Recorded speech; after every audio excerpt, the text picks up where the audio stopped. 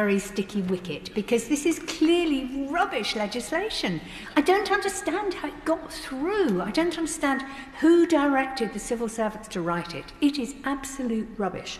Now, um, it, we've heard all the arguments um, about the fact that um, it's, it's so broadly written, it's going to criminalise too many people, um, much more than the peaceful protesters that the government is trying to target. I just wonder where the idea came from. This is so right wing. It is not an appropriate bill to bring to in, in a democracy.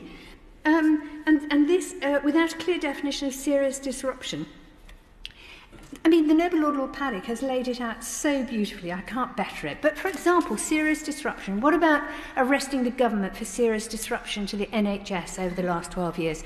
That would be something I'd support, but obviously we'd, we'd have to know exactly what serious disruption meant.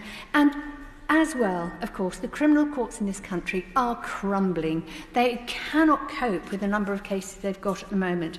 And here the government is actually going to insist on more cases on sometimes very specious grounds, um, uh, which will clog up the courts even more and make life even more difficult for people who care about justice and law. So I do beg the Minister, please, to meet with some of the more learned lords here and actually start to perhaps either clarify the bill or scrap it altogether.